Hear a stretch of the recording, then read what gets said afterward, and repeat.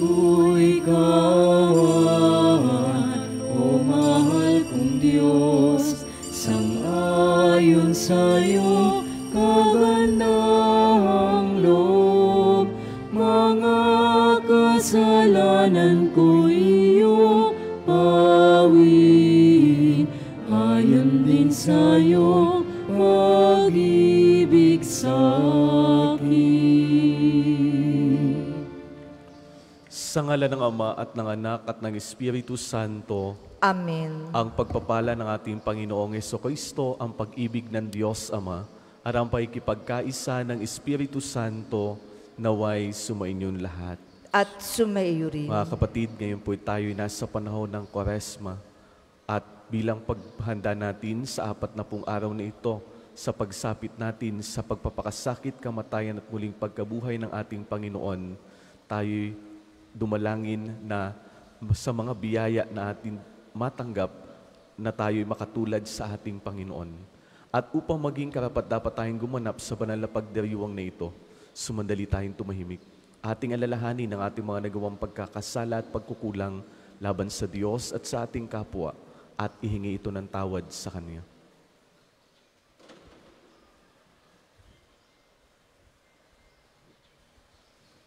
Buong kababaang loob nating sabihin, inaamin ko Sa makapangyarihang Diyos at sa iyo, mga kapatid, na lubha akong nagkasala sa isip, sa salita at sa gawa, at sa aking pagkukulang. Kaya isinasamo ko sa mahal na Birheng Maria, sa lahat ng mga anghel at mga banal, at sa iyo, mga kapatid, na ako'y panalangin sa Panginoong ating Diyos. Kaawaan tayo ng makapangyarihan Diyos, patawarin tayo sa ating mga kasalanan, at patnubayan tayo sa buhay na walang hanggan. Amen. Panginoon, kawaan mo kami.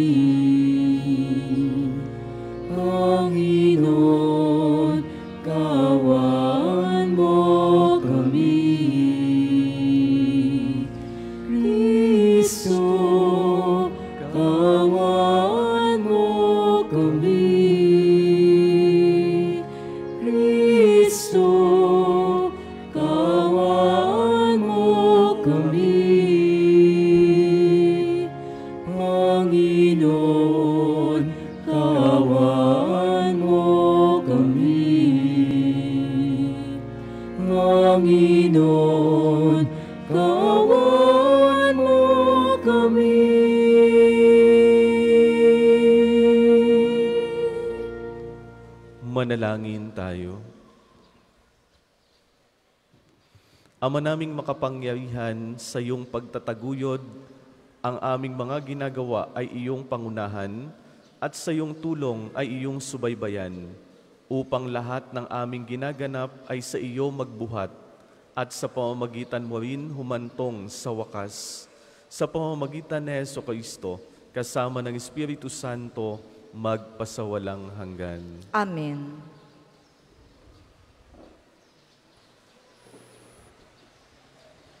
Pagbasa mula sa aklat ng Deuteronomio. Sinabi ni Moises sa mga tao, Nasa inyo ngayon ang kapasyahan.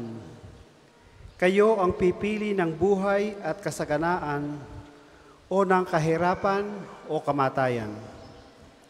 Kapag sinunod ninyo ang kautusan, iniibig ang Panginoon at nilakaran ang kanyang mga landas, pagpapalain niya kayo sa lupaing ibibigay niya sa inyo. Mabubuhay kayo ng matagal at kanyang pararamihin kayo. Ngunit kapag tumalikod kayo sa Kanya at naglingkod sa ibang Diyos, ngayon pa'y sinasabi ko sa inyong malilipol kayo. Hindi kayo magtatagal sa lupaing tatahanan ninyo sa ibayo ng Hordan. Saksi ko ang langit at ang lupa na ngayon inilahad ko sa inyo ang buhay o kamatayan at ang pagpapala o sumpa. Kaya piliin ninyo ang buhay para kayo at ang inyong lahi ay magtagal. Ibigin ninyo ang Panginoon. Makinig sa kanyang tinig at manatiling tapat sa kanya. Sa gayon, mabubuhay kayo ng matagal sa lupaing ipinangako niya sa ninuno ninyong sina Abraham, Isaac at Jacob. Ang salita ng Diyos. Salamat sa Diyos. Ang tugon po sa salmo, mapalad ang umaasa sa Panginoon tuwina. Mapalad ang umaasa sa Panginoon tuwina. Mapalad ang taong hindi naaakit niyong masasama upang sundan niya ang kanilang payot maling halimbawa.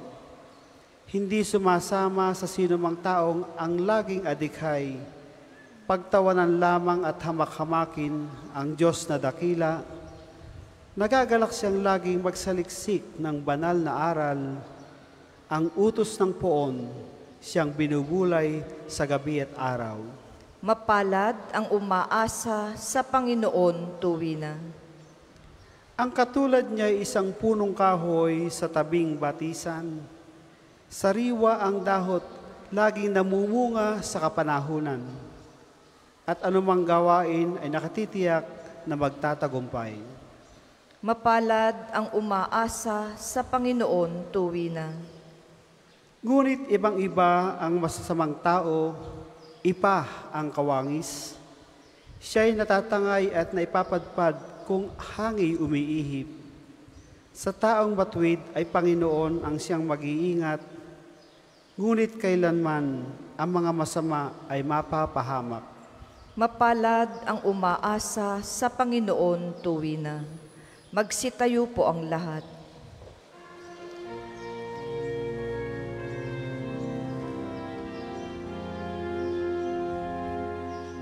Papuri sa iyo, salita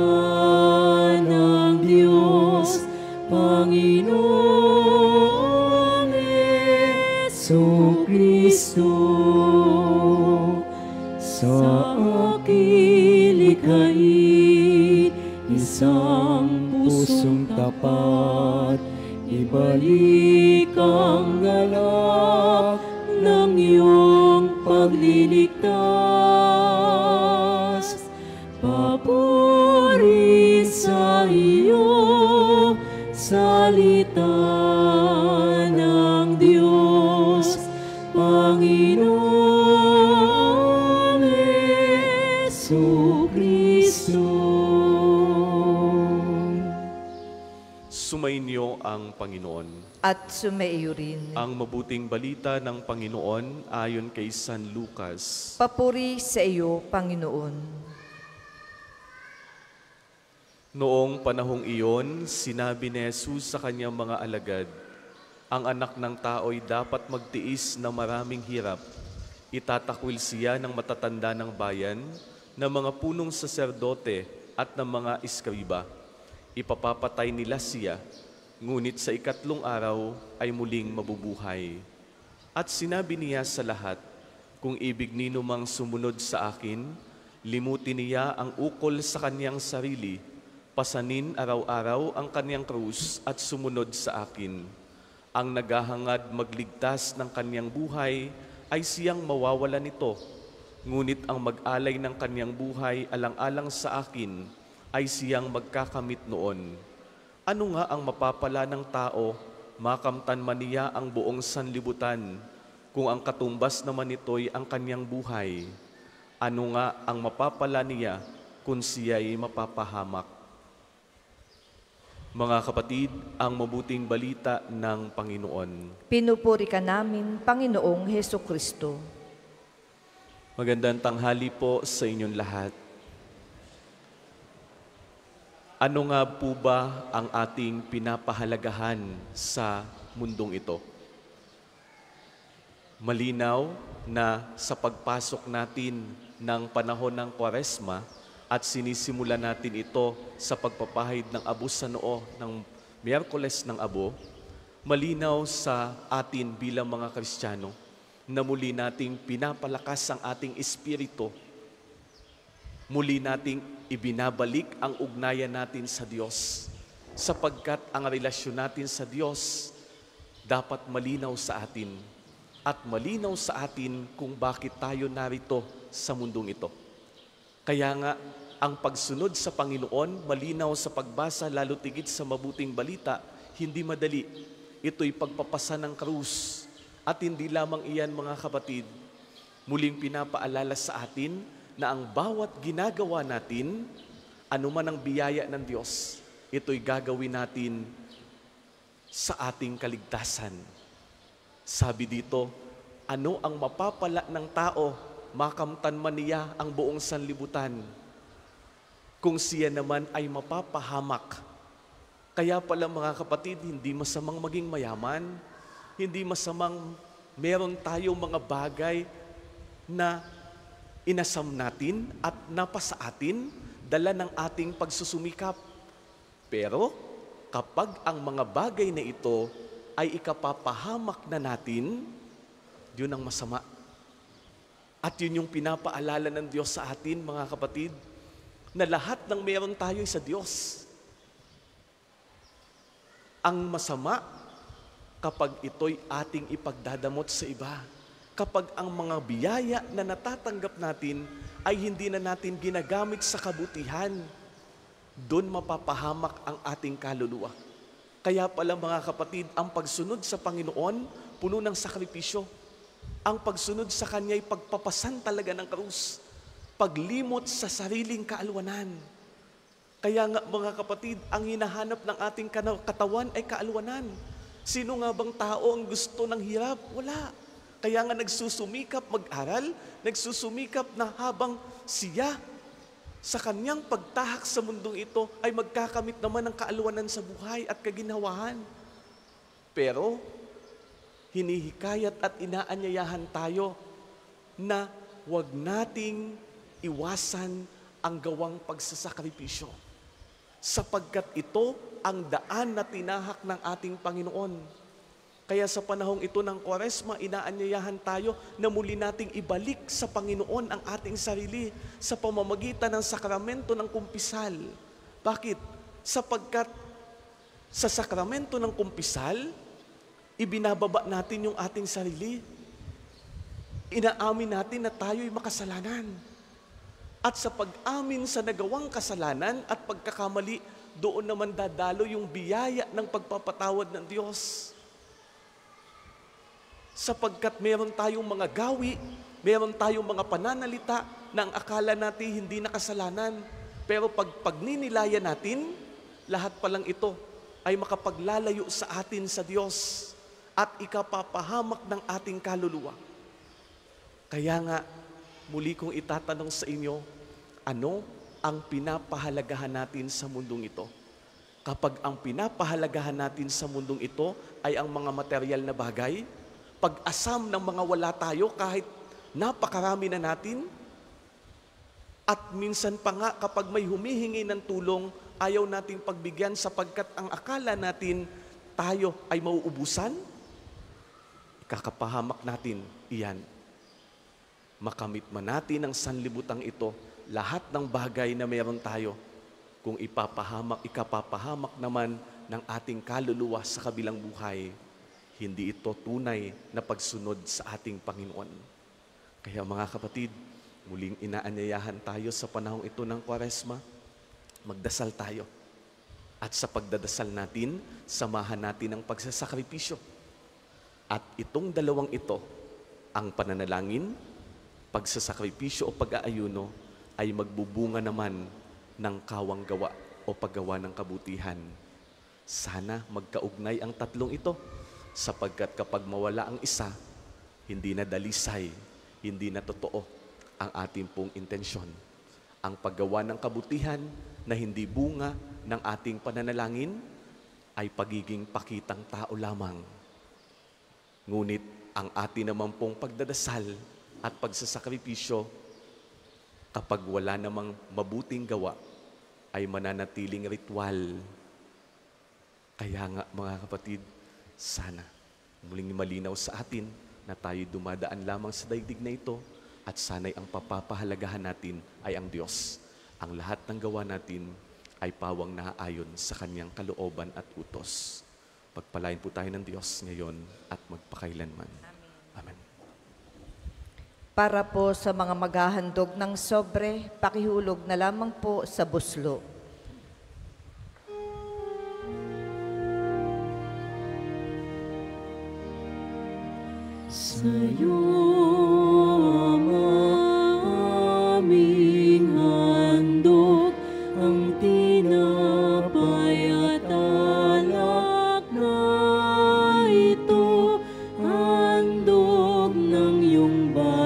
Sumasamo. Humihingi ng patawad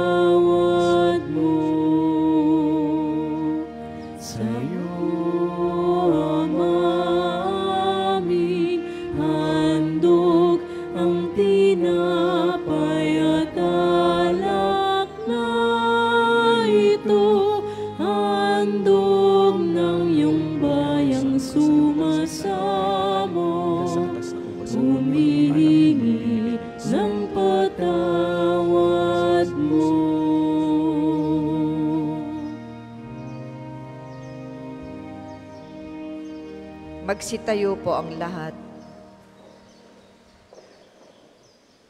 Manalangin kayo mga kapatid upang ang paghahain natin ay kalugdan ng Diyos amang makapangyarihan. Tanggapin nawa ng Panginoon itong paghahain sa iyong mga kamay, sa kapurihan niya at karangalan, sa ating kapakinabangan at sa buong sambayan niyang banal. Ama naming lumikha, tunghayan mo ang mga alay naming sa dambana ay nakahain, upang ang iyong minamagandang loob na binigay ay aming maihandog sa pagsamba sa iyong ngalan, sa pamamagitan ni Yeso Kristo, kasama ng Espiritu Santo, magpasawalang hanggan. Amen. Sumainyo ang Panginoon. At sumayo rin. Itaas sa Diyos ang inyong puso at diwa. Tinaas na namin sa Panginoon. Pasalamatan natin ang Panginoong ating Diyos. Marapat na siya'y pasalamatan. Ama naming makapangyarihan, tunay ngang marapat na ikaw ay aming pasalamatan sa pamamagitan ni Yeso Kristo na aming Panginoon. Binigyan mo kami ng bagong pagkakataon upang ganapin ang paghahanda ngayon para sa pagdiriwang ng muling pagkabuhay. Kaisa ng iyong anak na minamahal, aming inilalaan ang panahon, talino at yaman para ganapin ang iyong kalooban na ang kapwa-tao ay lubos na damayan sa pagdiriwang namin sa aming pagsilang bilang mga kaanib ng iyong sambayanan. Kami iyong pinagkakamit ng katayuang ganap sa pagtatangkilik, kaya kaisa ng mga anghel na nagsisiawit ng papuri sa iyo nang walang humpay sa kalangitan, kami nagbubunyi sa iyong kadakilaan.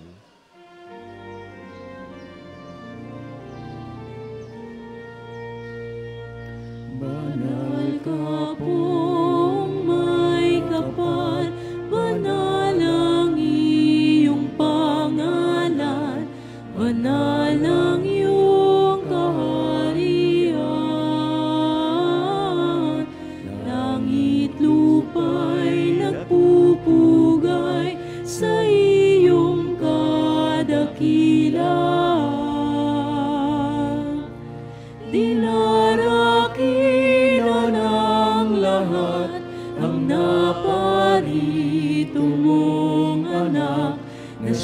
siyang nagmulat sa bulag.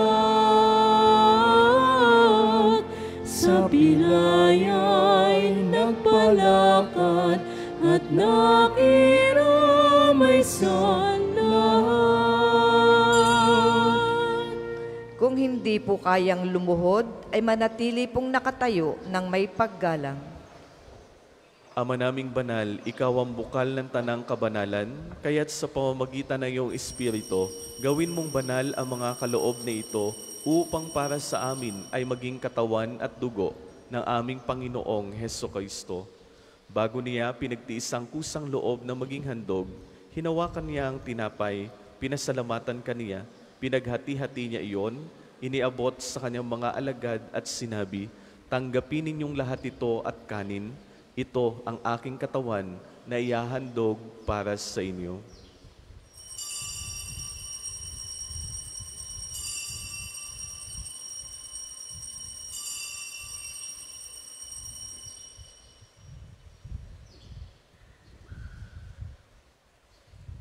Gayun din naman noong matapos ang hapunan, hinawakan niya ang kalis, muli kanyang pinasalamatan. Iniabot niya ang kalis sa kanyang mga alagad at sinabi, Tanggapin ninyong lahat ito at inumin. Ito ang kalis ng aking dugo, ng bago at walang hanggang tipan. Ang aking dugo na ibubuhos para sa inyo at para sa lahat sa ikapagpapatawad ng mga kasalanan. Gawin ninyo ito sa pag-alaala sa akin.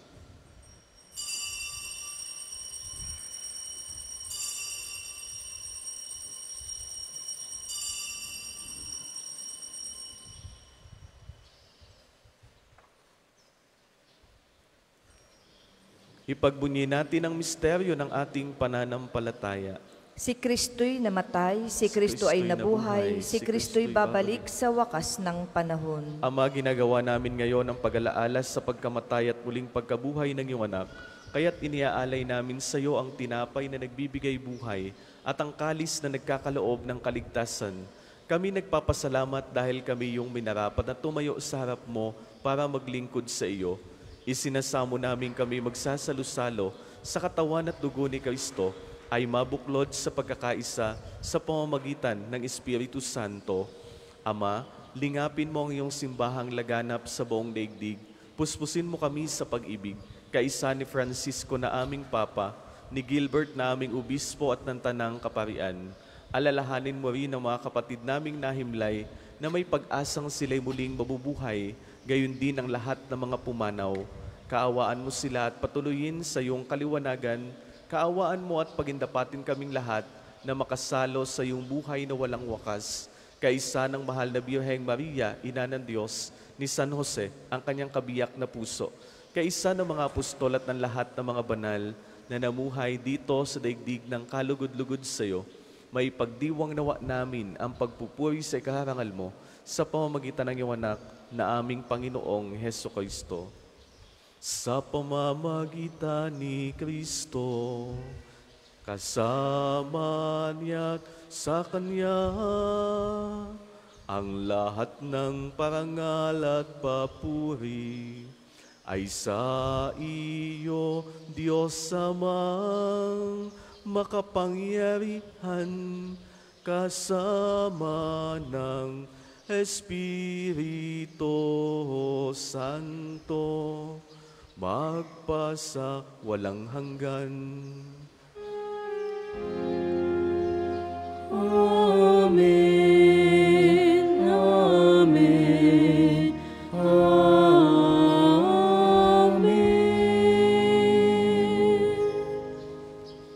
Sa tagubili na kagagaling na utos sa turo na Panginoon natin at Diyos, ipahayag natin ang lakas loob.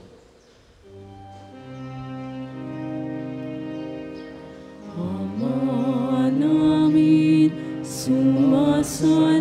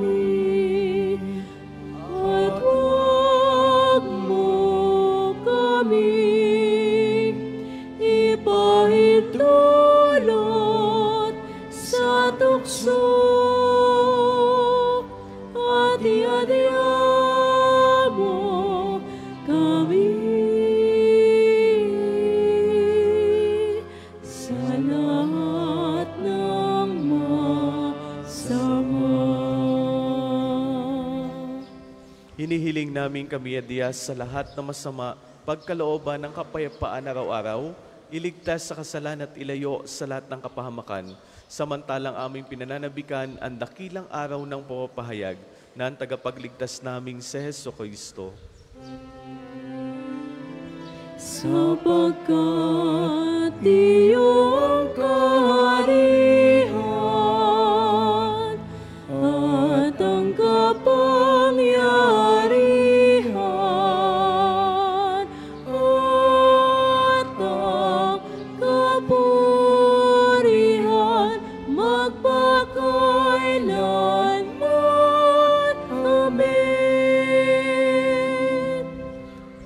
Panginoong Kristo, sinabi mo sa iyong mga apostol, kapayapaan ang iniiwan ko sa inyo, ang aking kapayapaan ang binibigay ko sa inyo.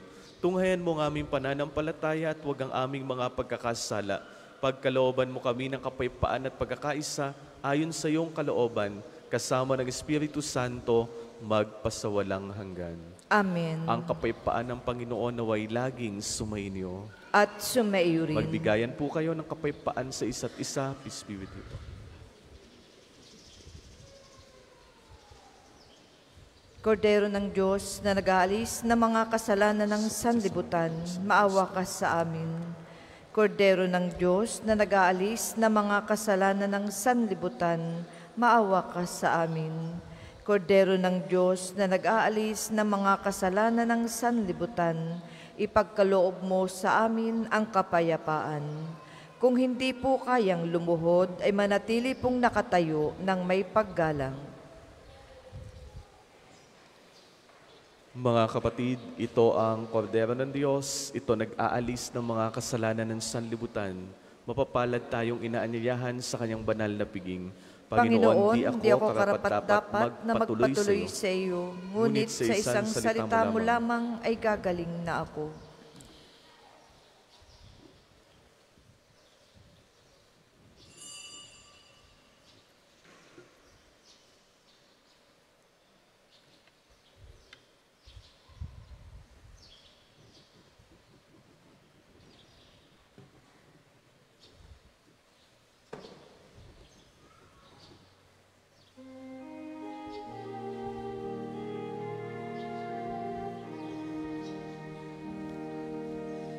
Sa Panginoon ng sino man sa tubig na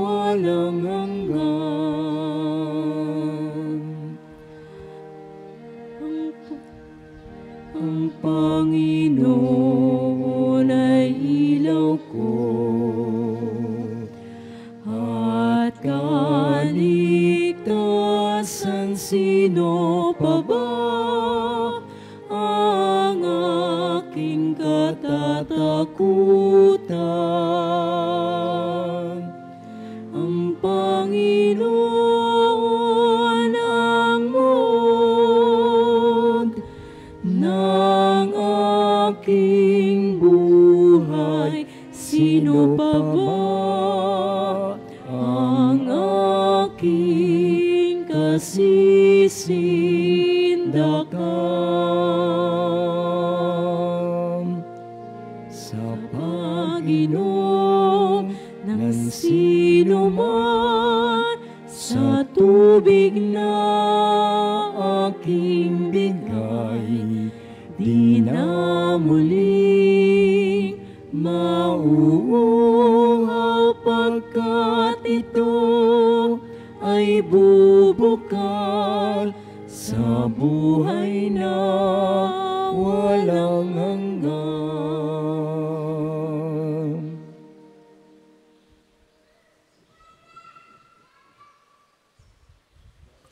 Second collection po ay ginagamit sa patuloy na pagpapaunlad ng parokya at pambansang dambanan ni Santo Padre Pio at para sa pangangailangan ng matatanda at may sakit na mga pari ng Archdiocese ng Lipa. Salamat po sa inyong handog.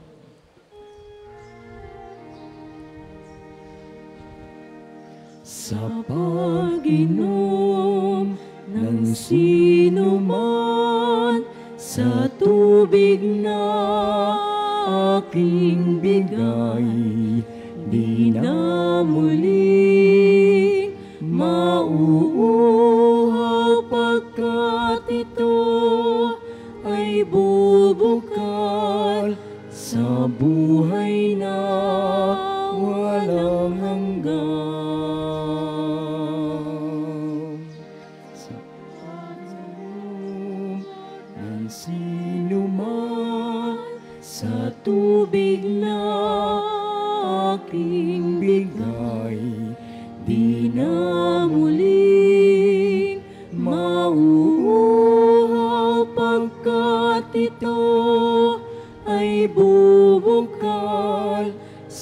buhay na walang hanggan.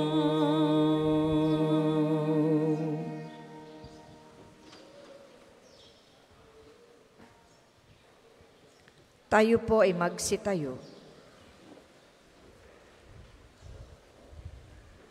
Manalangin tayo. Ama naming mapagmahal, sa pagsasalo namin sa piging mong banal, ang paghahaing ito sa ikapagpapatawad ng mga kasalanan ay siya nawang laging magdulot ng kaligtasan sa pamamagitan ni Yeso Kristo kasama ng Espiritu Santo magpasawalang hanggan. Amen. Panalangin ng pagtitiwala kay Santo Padre Pio, tayo pong lahat. Padre Pio, taga Pietrelcina, mongheng banal, pintakasing santo ng milenyong kasalukuyan, gabay namin sa pagtahak sa landasing makalangit, takbuhan sa pangangailangan, huwaran ng pagtitiis. Sa iyo namin inilalapit aming mga kagipitan, sa iyo po binibilin kalusugan at kabuhayan.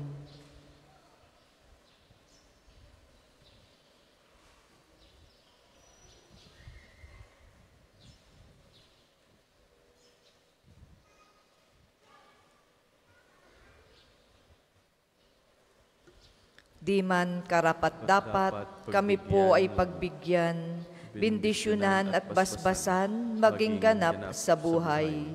Lumayo nawa kami, umiwas sa kasalanan, lumapit lagi sa Diyos, maging matatag at matibay.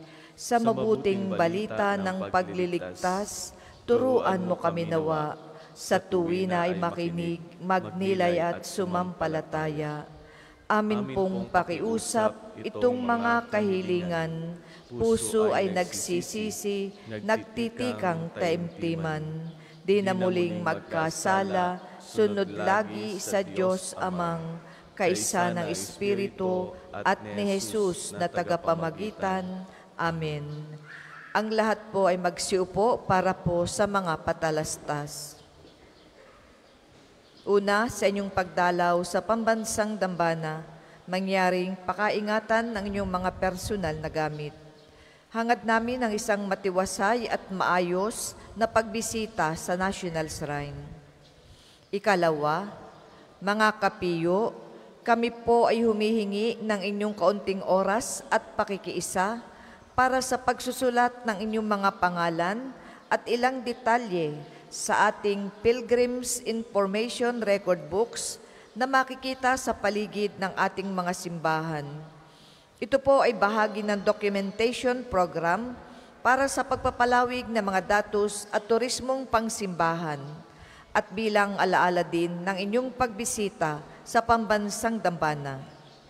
Para po sa ating mga balikbayan, OFW at mga kasama niyong foreigners, doon po kayo magsusulat sa International Pilgrims Record Book.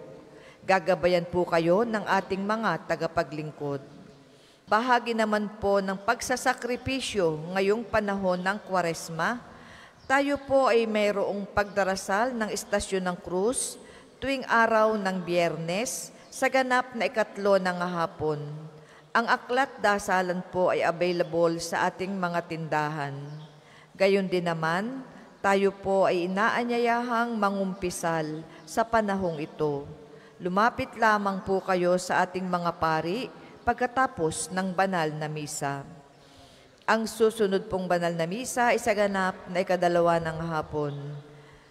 Maraming salamat po at mangyaring panatilihin natin ang kalinisan, katahimikan at diwa ng pananalangin sa loob at labas ng ating mga simbahan.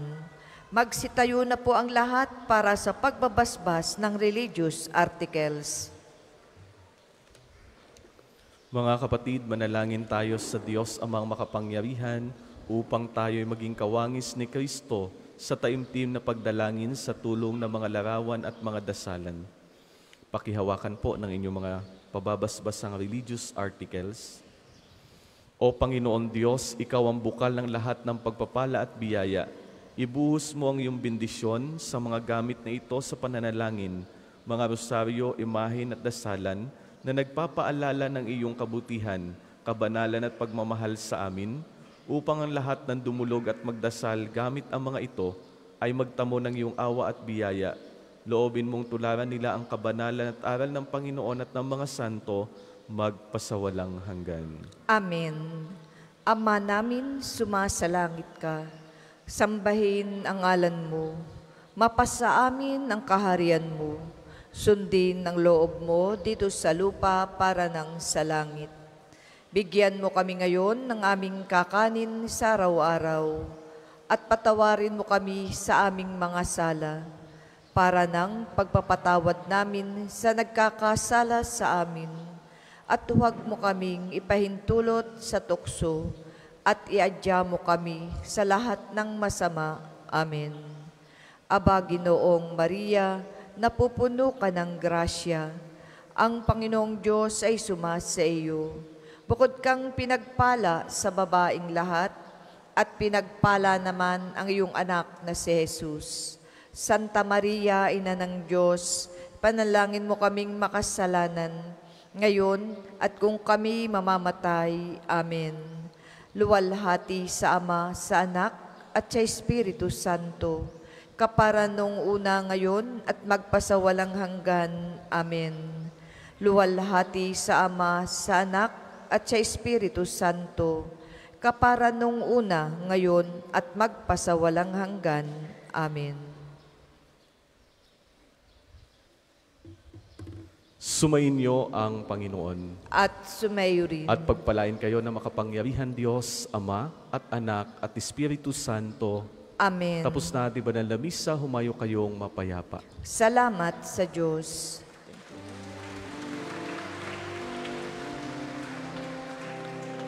Walang sino man ang nabubuhay para sa sarili lamang. Walang sino man ang namamatay para sa sarili lamang.